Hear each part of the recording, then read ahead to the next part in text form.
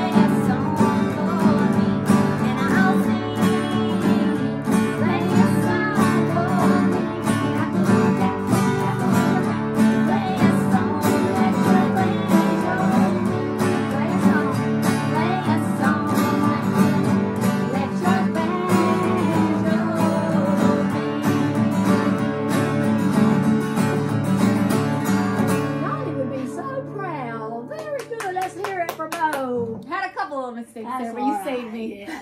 All right.